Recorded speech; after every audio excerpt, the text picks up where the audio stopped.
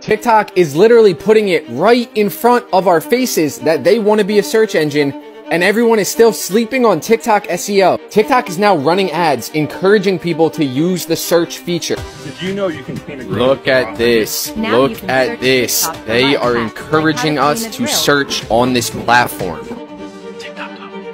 I've been trying to tell everyone that TikTok SEO is going to change the game. If you type in TikTok SEO, you will see that I am three of the top four spots. Hopefully this video will be number four. And if you want to know how to start ranking for these keywords and putting yourself in alignment with the direction that TikTok wants to take this platform, check these videos out and start to rank for keywords.